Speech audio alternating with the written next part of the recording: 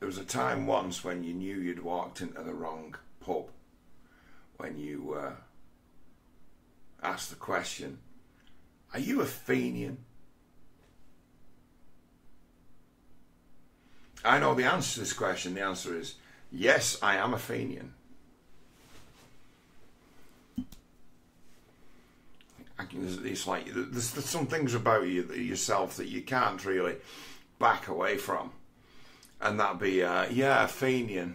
What does Fenian mean? Well, it's a, it's like a, a derogatory term for Irish scum, Catholic Irish scum, revolutionary Catholic Irish scum currently in, still in wide use in places like Scotland.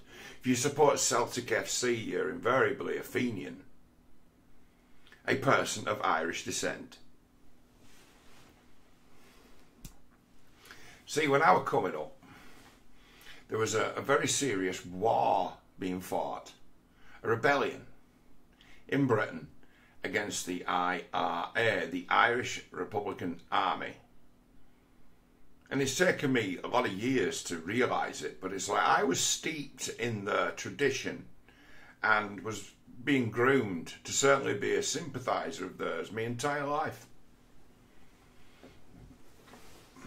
Or up until they decided they no longer existed, when the, the troubles came to an end and we pretended things like the Irish gangland no longer existed.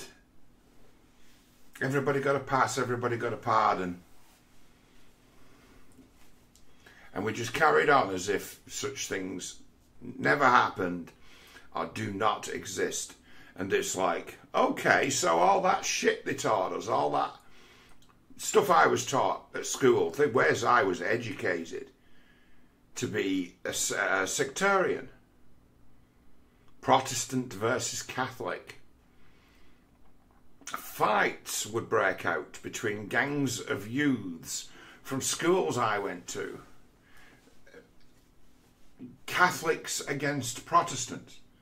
I'd every now and then I'd face a beating for being just being a Catholic.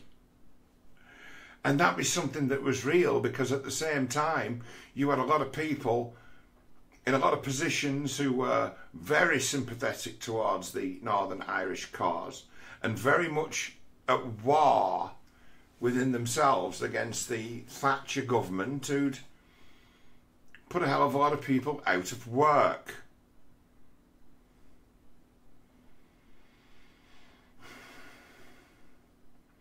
And thing is, with that sympathy, it's a matter of they don't really know who they're, who they're, dealing with. They don't know who they're propping up. They don't know who they're enabling. And they're enabling the, the, the worst criminal scumbags in the world. You, they're enabling the grooming of children to one day be soldiers and supporters of this great cause. And then they've been they've been fighting this war of assassins, which is what it was, for a good hundred years on and off. And we're to suddenly believe that it just came to an end when some treaty was signed with Tony Blair looks an awful lot like me, you know. That the Labour Party just uh, decided to uh, retire its paramilitary wing, its paramilitary wing. It's like, who had the ability to turn that struggle off? Labour Party, as soon as they got Thatcher out of power, done deal, everyone gets a pardon, all the prisoners are released. Never to speak of the troubles ever again. All fades into memory. How fucking useful for everyone involved in that little Cold War. I remember when they blew Manchester, a fuck. I was only 10 miles away, so 10, 15 miles away, so, you know, I heard the blast, felt it. Blew Manchester to fuck, smashed the fuck out of Dean's Deansgate. All backside of Arndale. To look at it now, you'd never know that it was blown up with a huge bomb. All replaced. For miles around, every pane of glass shattered. What a sight that was. It's like we in this country faced a deadly terrorist threat, really serious, um, networks of people gathering information, doing things behind the scenes, but at the same time be hand in hand with Marxists who you would use the same everything. It's like fundamentally that was a big problem with the, the IRA is the, the IRA were Marxists too. They were communists too. They were hand in hand with, with, with communist lefty forces in the UK. And to my mind, it's like they how could they not have infiltrated every facet of our government? How could they not have ended up owning a political party or two? Bearing in mind that they were trading in murderous force, dangerous criminals, threats that manifested into dead bodies. I think they took over, personally. I think those forces all combined and, and worked together towards similar ends of all getting rich from their new positions of uh, new networks they'd managed to create in the peacetime. The Labour Party found new criminal parties, uh, new criminal partners, changed tactics. But that rebellion, that network that had been built over 50 years, those kids that had been groomed straight out of school to become soldiers in the IRA, where did they go?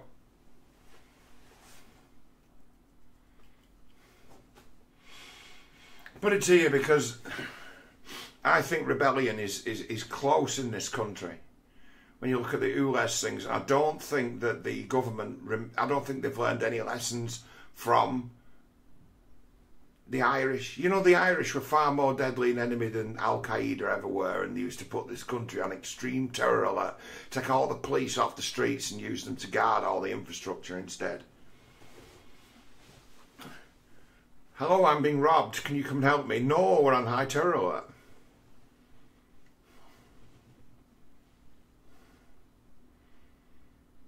They didn't do it. Uh, they didn't scratch the surface. Islamic extremists never scratched the surface in this country, really, compared to what the IRA did in the past. And we didn't shut anything down or change any laws drastically to deal with them.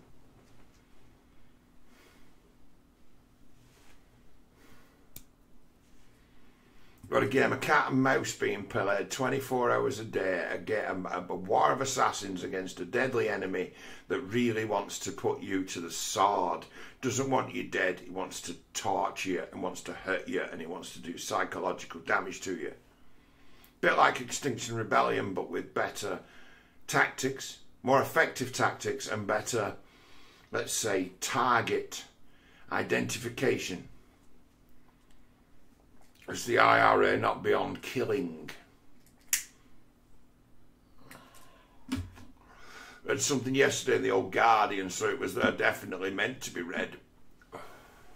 They reported on raids in Northern Ireland on gangs who'd been, um, let's say, active in the last week or two, throwing petrol bombs, policemen ending up in hospital and the like raided their homes and found grenades.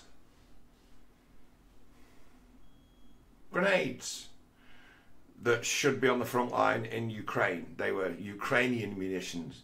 They were of Russian manufacturer, but they've traced the weapons down and they should have been on the front in Ukraine. So it's like, what? Military grade weapons ending up in the hands of Irish gangs? Yes. Where have we heard of this before? I've put it out before as to say do we really know that the IRA were disarmed at the end of the? Oh yeah, yeah, they handed over all the weapons. Like, how would anyone? How could anyone possibly know? Well, they said they did. So how could anyone possibly know if they did? Raided these guys' house. They found explosives, machine pistols, grenades. It's like how much mayhem you could cause with a grenade in the right place. A grenade, one grenade. Just be smart about where you were to put it. Like built-in, a built-in piece of, a built-in trigger that makes it so it's a, a, the most adaptable booby trap. Part of why they're made the way they are. Highly adaptable to be converted right now into a booby trap of, uh, and you can be really creative for how you use a grenade. And they've got grenades. I was listening to uh, he called Neil Oliver, and he's been talking about that we need a revolution. I'm like, no, revolution, no. It's a, you, you, you're being a fantasist. It's like, what you're going to see is a rebellion. It's like underground types, criminal types, gang types, politicized gang types. They've not gone anywhere. And they suffer too. When people start to suffer, when people start to get squeezed, they suffer too.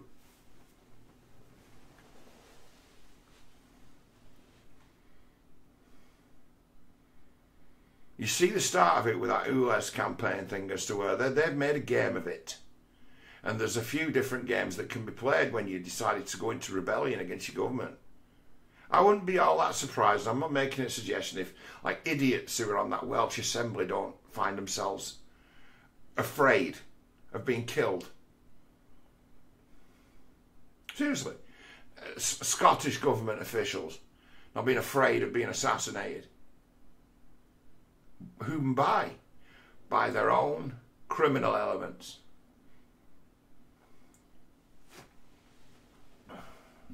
And then, you see, I bring this together and I'm talking this way because the last two nights there's been two attacks on the Russian fleet at port in Sevastopol.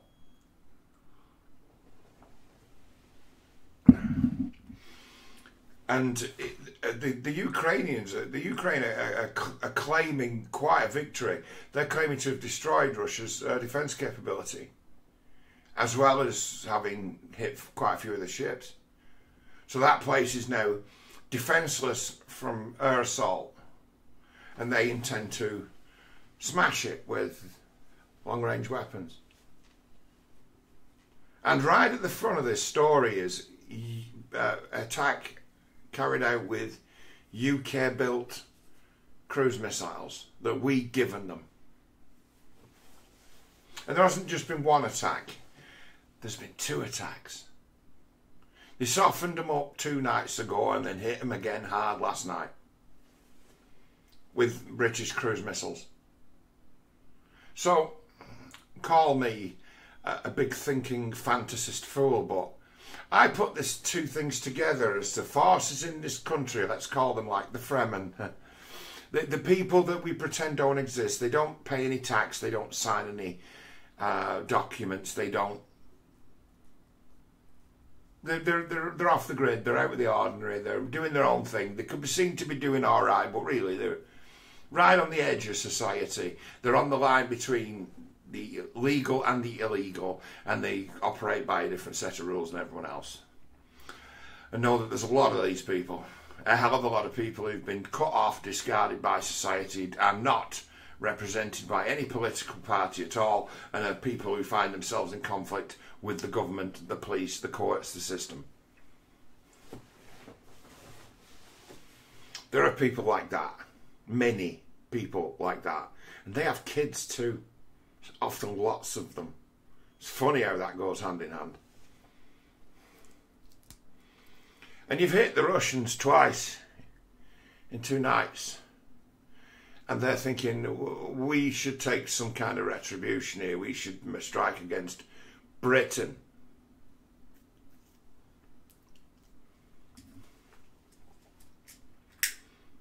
Well, we could just take out the Thelwall Viaduct and the M1 with conventional missiles destroy the two biggest and most important motorway bridges. That would be the end of their country, would cut the thing in half. Uh, they would have far bigger problems immediately to worry about than messing with our business. We could teach them a lesson. Yeah, but that'd be a military attack and that'd be a direct action. That would be an open declaration of war and that would lead to probably nuclear annihilation. So maybe we should, even though that's what they fucking deserve, to send them a few missiles back in kind and test out their air defences. Maybe that's what they deserve, but maybe that's not what's available to us. What's available to us, Doctor Strangelove? And you know, the, the, this end for me, uh, my, my thing is, I always I think of myself as like the nuclear general. You know, like when when it's like DEFCON, you know, DEFCON one, and it's declared it's like, okay, we need a strategy for as how to win in this crisis. Send for Doctor Strangelove. I'd like to be Doctor Strangelove, that last resort guy. But say in Russia, it's like here, you, you, you know, you get to just stay at home all day if that's who you are. But in Russia, you know, they might find a job for you. So Russia calls. He calls in Doctor Strangelove, and he asks Doctor Strangelove, right? It's like, what what do we do here? And I tell him, well, they've not attacked us directly. They've attacked us indirectly. So the right thing to do in kind is to attack them indirectly. So it's like cyber attack? No. Sabotage of infrastructure? No. What then?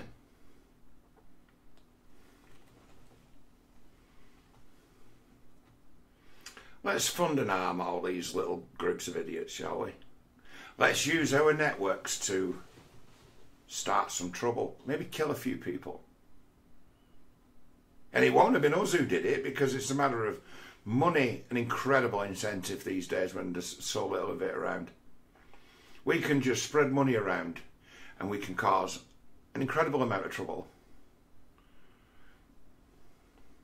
Bet your ass that there's Russian illegals in this country. Agents who would generally be criminals but cunts for hire that would be available to the Russians to do sabotage. But I think sabotage is the wrong tactic. I think the right tactic is targeted assassination. I think it's to do murder.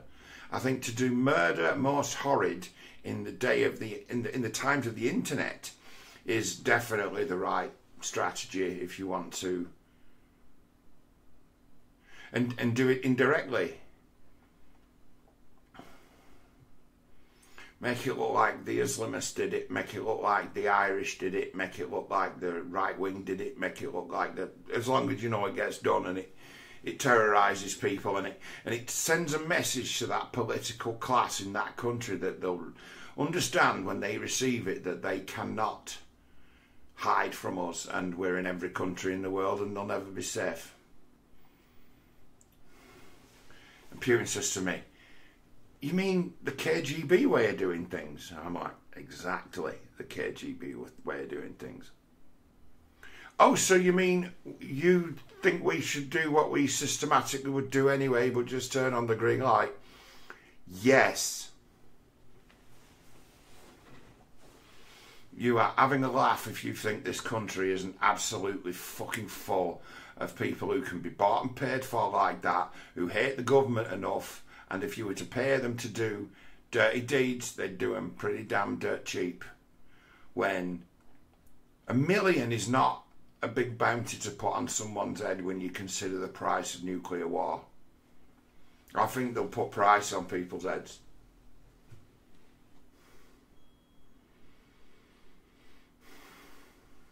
I think the I think the Russians are, are in a position where the best course of action is for them to create incentives for rebellious citizens of the United Kingdom to strike against their leadership. Can't see past it. It's like that's always a danger that that might happen anyway. It'd be grassroots, but it hasn't happened yet. And I'm always thinking that we're only ever a couple of months away from uh, Extinction Rebellion uh, deciding to toss away the non-violence and, and reach for violence, or others using the technique but with violence because it, they are terrorists. They use terrorist tactics. I've been waiting for someone to reach for violence and like this is what it's going to come to. It'll come to murdering because that's all you've given people left to do, and you've given them the internet as well as to where the, the word of the deadly deed is going to go around the world in seconds and shock everybody and be a global thing. Like, that's the only way. Now, you've incentivized the Russians to facilitate that kind of act.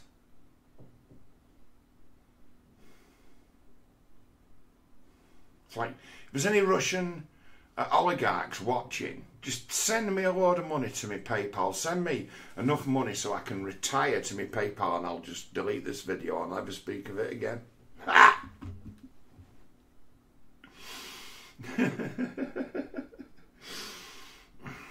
so everyone needs to eat.